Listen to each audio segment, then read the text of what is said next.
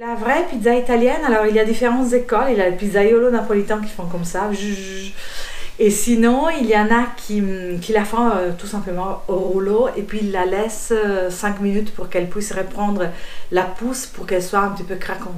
Et en fait, la pizza, pour être bien cuite, il faudra la cuire à 400-450. Il y a des petits fours qui sont faits exprès. Euh, tu la mets dedans et il faudrait vraiment qu'elle puisse cuire en 5 minutes pour obtenir la vraie pizza italienne qui, qui a la pâte un petit peu filante. Qui... Alors on met 250 g d'eau dans la, dans la truc. Euh, on fait comme ça, chacun prend sa, sa, tasse, puis on fait la tare, la, la tare à la tare, ça s'appelle. Ouais. Et on met 250 g d'eau. Tu prends la moitié de ça, plus ou moins. Donc 20 grammes de levure. Oui, et toi aussi, Patrice. D'accord. Donc ça Ça, correspond. c'est- Ouais, il y a pas la Ah bah, tu, moitié. peux, tu, tu peux faire, oui, oui, plus ou moins, c'est moitié, moite, moite. Alors, quand on a bien dissous la levure, on prend juste une pincée de sucre pour qu'on la nourrit un petit peu. Une pincée de sucre alors? Oui, pour la. Une bonne pensée, on va dire. Par contre, il faut jamais que la levure pure touche ni les sucres ni les sels. Chacun prend Alors, 500 g de farine. Et beaucoup aussi euh, selon les journées. Il y a des journées où c'est il faut mettre un petit peu plus de farine parce que la levure, ça change euh, vraiment euh, l'absorption de. La levure, en fait, c'est un truc, alors, euh, parce qu'elle a besoin de sucre pour se nourrir, mais, mais si les sucres la touchent directement, elle meurt. C'est Yvan qui m'a qui m'a fait remarquer ça. Un jour, elle m'a montré un morceau de levure, on l'a sucré, puis on a fait comme ça, la levure est devenue toute liquide. Elle est morte. Une bonne pensée, oui. Comme ça, hein, c'est ça, c'est une bonne pincée ça. Non, non, non, non, c'est comme ça, une bonne pensée. Ah, c'est comme ça. Ouais. La pincée, c'est euh, c'est comme ça. Ouais, ouais, ouais. C'est une pensée des chefs, en fait. Et donc, voilà, après le. Sur la farine, pour pas que. Travaille la pâte. Oui. Il y a une Ouais. technique particulière Non, non, non. Non, quand tu les fais dans les, dans les bols, grosso modo, ça marche. Les problèmes, c'est hum, les vrais courageux, ils les font sur la, hum, sur un, comment ça s'appelle, sur un- comment ça s'appelle la, la planche, sur une planche. Ah, sur une planche. Et la planche, bon là, c'est plus difficile. hein. La planche, euh, c'est parce que tu dois faire une montagne, puis après, tu, tu, tu commences par la farine, si tu fais une planche. Euh, tu fais une montagne, puis tu fais un trou dedans, et puis tu dissous la levure à côté, à part. Tu l'ajoutes petit à petit, puis tu commences à travailler, et c'est beaucoup plus compliqué. Là, dans, les bols, grosso modo, ça marche. euh. Ou en plus, alors il y en a aussi qui les font encore mieux parce qu'il y a des techniques. Moi, je, l'ai appris en voyant ma mère, donc euh, c'est. Mais il y en a qui sont encore plus te- techniques dans les gestes. Et en fait, vous allez voir, demain, vous aurez un petit, un petit mal euh, dans les avant-bras. Travail, tu travailles, tu travailles, tu travailles. Puis à un certain moment, quand tu sens qu'elle est toute lisse,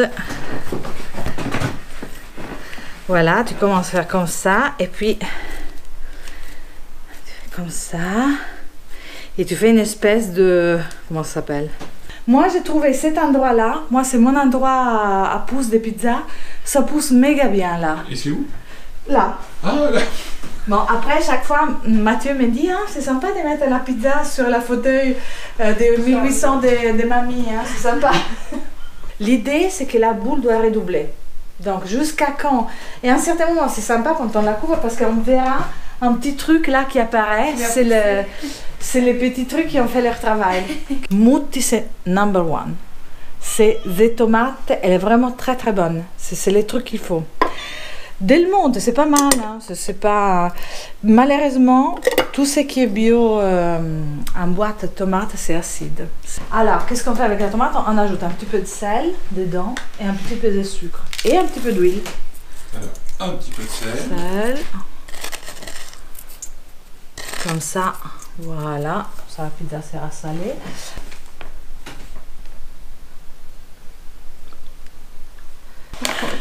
Et là, un peu de sucre. Un petit peu de sucre, donc pour les diabétiques, ça, ça chose. proscrire, ça va pas.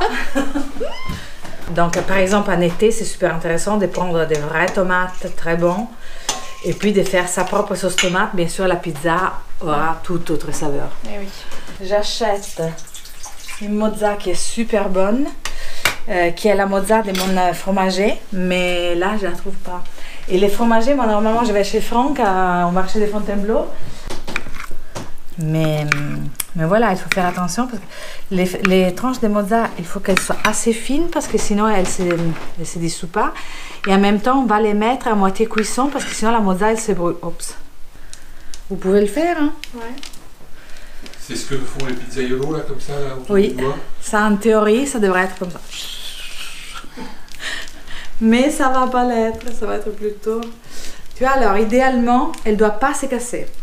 Ça, elle va se casser. Il y a eu peut-être euh, trop de farine ou trop de trucs. Là, Moi, quand je peur que ça se casse, je la mets sur les trucs et puis je fais comme ça. Parce que c'est vraiment, c'est pas bien quand elle, elle fait des trous, c'est pas. En principe, tu devrais pouvoir la tirer, tirer, tirer sans qu'elle fasse des trous. On en met 3-4 cuillères au milieu. Même 4, allez. Et puis, on les, hum, on l'étale. Comme ça. Euh, je pas, du, du- du jambon, tu peux ajouter de, de- tout ce que tu veux, des courgettes, des, des aubergines, des œufs, tu peux mettre tout. C'est- pas, c'est canamé là, mais je l'achète euh, en Italie parce que j'ai l'impression que l'origan français sont plus les, les herbes de Provence que l'origan. Oui, que l'origan, je crois qu'il mélange. Oui, je pense que toujours c'est des mélanges. Et là, c'est la preuve de la vérité parce qu'on va la amener au four. On va amener nos chefs d'œuvre dans le four. Après, je ferai une rotation hein, pour que la cuisson soit. Homogène. Oui. Tadam Je vous laisse les places d'honneur euh, dans le. Fais attention, Meg, à pas te brûler. Ouais. Tadam Et voilà Meg qui mettait sa pizza dans le four. Hop. Super.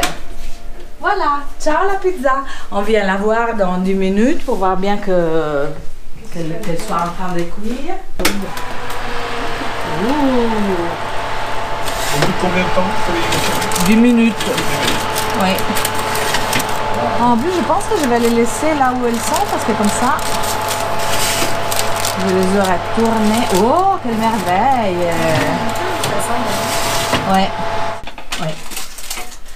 Deux fois 10 minutes plus ou moins, tu, tu regardes parce que là, elle commence à être bien, bien coloriée. Ce qui est dommage, c'est qu'à la vidéo, on ne sentira pas cette odeur hein, de. Ah, c'est mortel cette odeur. C'est vraiment mortel. Là, là, on se croirait en Italie, euh, Sylvia. Oui, oui, oui, c'est l'odeur de- des pizzerias italiennes en fait. ça. Est-ce que c'est l'odeur de la maison alors quand vous étiez à Bologne? Oui, tout à fait. C'est l'odeur de, ben, c'est l'odeur de casa, enfin. C'est, c'est l'odeur typique des, des maisons italiennes, des restos italiens, de la route italienne quand on se rend. Ah, elles sont super belles. Ça, ça Alors, cet atelier euh, pizza, tutto pizza, euh, s'achève. Euh, nous allons. Alors, ce qui vous manque, là, c'est l'odeur. L'odeur de quel produit déjà De l'origan. L'odeur de l'origon, mais le vrai, hein, l'italien, hein, pas le, le français. L'odeur sublime. On espère que ça va vous plaire. N'hésitez pas. hein, Sylvia Golini, vous la trouvez sur Facebook et en plus, elle a un blog à l'adresse qui apparaît. À bientôt.